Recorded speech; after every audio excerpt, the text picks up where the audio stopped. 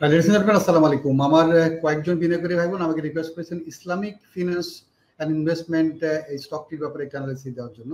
আমি সেই সমস্ত বিনিয়োগকারী ভাই বোনদের উদ্দেশ্যে আমার অ্যানালিসিসটি দিব। আমি শুরুতে বলে রাখি, আমি কোনো শেয়ার পার্টিকুলার শেয়ার কেনা বেচা বা হোল্ড করার ব্যাপারে পরামর্শ দিই না। আমি শুধুমাত্র ফান্ডামেন্টাল এবং টেকনিক্যাল অ্যানালিসিসের পরিপ্রেক্ষিতে আমার অ্যানালিসিসটা শুধুমাত্র দিয়ে থাকি শেয়ার কেনা বেচা বা হোল্ড করার সিদ্ধান্ত সম্পূর্ণভাবে আপনাদের নিজেদের। উদ্দেশ্য, আমি আপনাদের সাথে আমার স্ক্রিনটাকে শেয়ার করব, যেখানে আমি আপনাদেরকে ফান্ডামেন্টাল আসপেক্ট প্রথম দেখানোর চেষ্টা করব, তারপরে আমরা চলে যাব আমাদের টেকনিক্যাল চার্টে আমরা ফান্ডামেন্টাল বিষয়গুলো দেখে, দেখলে আমাদের একটু চলে যাব দেখতে পাচ্ছি যে এই national sorry Islamic finance and investment company investment limited যার এনবি হচ্ছে চোদ্দ টাকা অষ্টাশি পয়সা। গত বান্ন সপ্তাহে যে লোয়েস্ট প্রাইস ছিল চোদ্দ টাকা চল্লিশ পয়সা এবং হাইয়েস্ট প্রাইস ছিল পঁয়ত্রিশ টাকা চল্লিশ পয়সা। আমরা আজকের যে ক্লোজিং প্রাইস দেখতে পাচ্ছি, বাইশ টাকা পঞ্চাশ পয়সা দেখতে পাচ্ছি। এবং ডিসেম্বর ক্লোজিং এর একটি শেয়ার যার পি আমরা দেখতে পাচ্ছি আঠারো দশমিক নয় এক। এবং গত তিনটি কোয়ার্টারের যার যে ইপিএস আমরা দেখতে পাচ্ছি একচল্লিশ পয়সা, তেত্রিশ পয়সা, পনেরো পয়সা গ্র্যাজুয়ালি কিন্তু ইপিএসটা কমেছে। গত অর্থ বছরে দশ পার্সেন্ট ক্যাশ ডিভিডেন্ড আমাদেরকে দিয়েছে। এবং আমরা দেখব যে এই স্টকটির হোল্ডিং শেয়ার হোল্ডিংটা কেমন আছে? ডিরেক্টর হোল্ডিং আছে একত্রিশ দশমিক এক আট পার্সেন্ট দেন ইনস্টিটিউশন হোল্ড করছে আঠারো দশমিক তিন দুই পার্সেন্ট এবং পাবলিকের পঞ্চাশ দশমিক পঞ্চাশ পার্সেন্ট এবং অ্যাভারেজ প্রাইস হচ্ছে তেইশ টাকা বিশ পয়সা অ্যাভারেজ ভলিউম হচ্ছে দুই লক্ষ সাতানব্বই হাজার চারশো নব্বইটি শেয়ার সেই তুলনায় আমাদের অ্যাভারেজ ভলিউমটা কম হয়েছে। তো আমরা চলে যাব টেকনিক্যাল চার্টে আমাদের কি বলছে? আমরা টেকনিক্যাল চার্টে চলে এসেছি এখানে। তো আমরা আজকে যেখানে আমরা, আমাদের যে ক্যান্ডেলটা হচ্ছে ডোজি ক্যান্ডেল আপনারা দেখতে পাচ্ছেন সবাই, এটা একটা ডোজি ক্যান্ডেল হচ্ছে এখানে। ডোজি ক্যান্ডেল হচ্ছে একটা ইনডিসিশন ক্যান্ডেল যেখানে আমরা কোনো সিদ্ধান্ত নিতে পারি না। একে আবার রিটেস্ট করার জন্য বা একে কনফার্ম করার জন্য কালকে আবার ক্যান্ডেল হতে হবে। যে ক্যান্ডেলটা আমাদেরকে সেই এর পরবর্তী মুভটা সম্পর্কে আমাদেরকে কিছুটা ইঙ্গিত প্রদান করবে রাইট তো যেহেতু আমরা দেখতে পাচ্ছি যে ডোজিটা যেটা হয়েছে, ডোজির কিন্তু যে it's a long leg doji যার নিচের লেগটা অনেক বেশি বড় তার মানে সেলাররা সেলাররা এর প্রাইস থেকে অনেক নামাতে চেষ্টা করেছিল বাট বায়ার সেই ক্ষেত্রে বায়ার টেক ওভার করেছে টেক ওভার করার পরবর্তীতে তারা টেনে তুলেছিল শেয়ার প্রাইসটাকে বাট একটা সময় গিয়ে তারা একই লেভেলে ওপেনিং এবং ক্লোজিং প্রাইস একই জায়গায় যে তারা ক্লোজ হয়েছে। ওপেনিং এবং closing in the same level সুতরাং সেই আসপেক্টে আমরা যেটা বলতে পারি, যদি আমরা একটু সূক্ষ্মভাবে চিন্তা করি তো আমরা বলতে পারব যে বায়াররা কিন্তু অনেক স্ট্রং ছিল। That is a good sign যে বায়াররা স্ট্রং ছিল। বাট কালকের ক্যান্ডেলটা আমাদেরকে ফার্দার কনফার্ম করবে যে আমাদের সেই স্ট্রেংথটা কতটুকু আসলে আছে। এখন আমরা এখানে কয়েকটা ইন্ডিকেটর প্লেস করব আপনাদের জন্য। আমরা দেখি আমরা বোলিঙ্গার ব্যান্ডে চলে যাই। বোলিঙ্গার ব্যান্ড আমাদেরকে কি দেখাচ্ছে? আমরা দেখতে পাচ্ছি বোলিং ওকে আমি আরও কয়েকটি ইন্ডিকেট একবারে প্লেস করে দিয়ে রাখি, তারপরে আমাদের জন্য সুবিধা হবে তাহলে। ওকে ম্যাকডি দেন স্কটস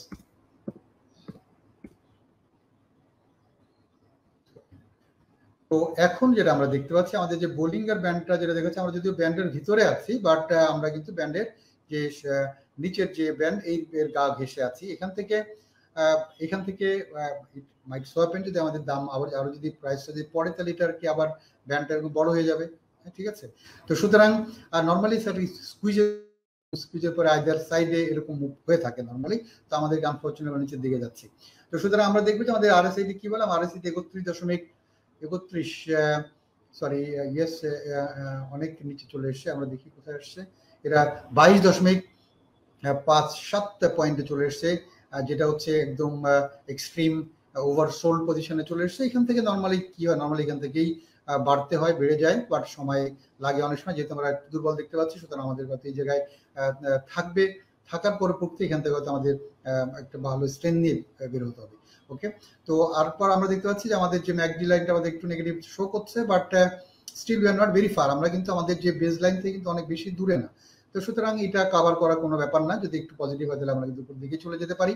আমরা আশা করতে পারি যদি আমাদের যে যেখানে আছে আছে যে যেটা আমাদের আজকের ক্যান্ডেলটা যেটা আমাদের লং লেগ ডোজি যেটা হচ্ছে, সেটা যদি আগামীকালকে যদি আমাদের একটা পজিটিভ ক্যান্ডেল যদি তৈরি করতে পারে বা কনফার্মেশন ক্যান্ডেল যদি পজিটিভ ক্যান্ডেল হয়, তাহলে কিন্তু এখান থেকে আমরা উপরের দিকে চলে যাব ইনশাল্লাহ আর এখানে আমরা দেখতে পাচ্ছি স্টকস্টিক যে ইন্ডিকেটর এটা কিন্তু লম্বা টাইম আমাদের এখানে আছে। এখান থেকে এর এখান থেকে উপরের উপরের দিকে যেতে হবে তাকে। তাকে উপরের দিকে যাওয়া ছাড়া তার নিচের দিকে যাওয়ার কোনো তেমন কোনো জায়গা নেই বাট যাবেও না হয়তো আশা করছি আমি।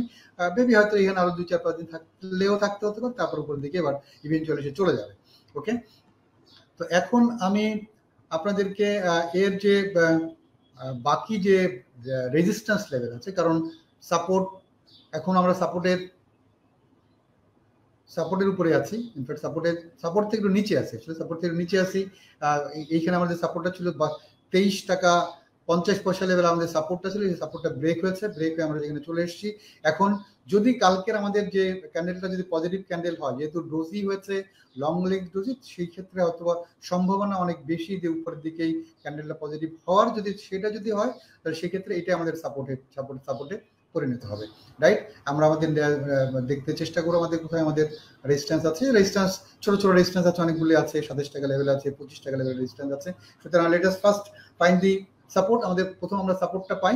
তারপরে সেখান থেকে আমরা আমাদের রেজিস্ট্যান্সগুলো বের করার চেষ্টা করব। আপনারা এটা মাথায় রাখতে পারেন, পঁচিশ টাকা, সাড়ে পঁচিশ টাকা লেভেলে সাড়ে সাতাশ টাকা লেভেল তিরিশ টাকা লেভেল আমার সাপোর্ট আছে। দেন আরও উপরে গিয়ে আমাদের রেজিস্ট্যান্স সরি রেজিস্ট্যান্স আছে, পঁয়ত্রিশ টাকা লেভেল আছে, তিরিশ টাকা লেভেল আছে, সাতাশ টাকা লেভেল আছে, পঁচিশ টাকা, পঞ্চাশ পয়সা লেভেল আছে, আমাদের রেজিস্ট্যান্স লেভেল আছে। এগুলো আমাদের লিফ ফ্রক মেথড যেটাকে আমরা বলি বা ক্রলিং মেথডে আমাদেরকে এটাকে ক্রস করে উপরের দিকে যেতে হবে। তারপরে আমরা আমাদের প্রাইস বিল্ড করতে পারব। সুতরাং সবকিছু মিলে যেটা আমি যেটা বলব, আমার যে বিনিয়োগকারী ভাই বোন আমাকে এই স্টকটির ব্যাপারে অ্যানালিসিস দেওয়ার জন্য বলেছিলেন, তারা এই আলোচনার পরিপ্রেক্ষিতে তাদের একটা গাইডলাইন তারা হয়তো এখান থেকে নিতে পারবেন। সুতরাং যারা যারা আমি বলব যারা অলরেডি ইনভেস্টেড ইনভেস্টেড অবস্থা আছেন, তাদের কোন পজিশনে বা কোন প্রাইসে ইনভেস্টেড আছেন সেটা আমি জানি না বাট ন্যাচারালি আমি যেটা ফিল করতে পারি সেটা হচ্ছে আপনারা নিশ্চয়ই এখান থেকে অনেক বেশি প্রাইসে যারা ইনভেস্ট করে আছেন তাদের শেয়ারটা অনেক বেশি পড়ে গিয়েছে, কমে গিয়েছে।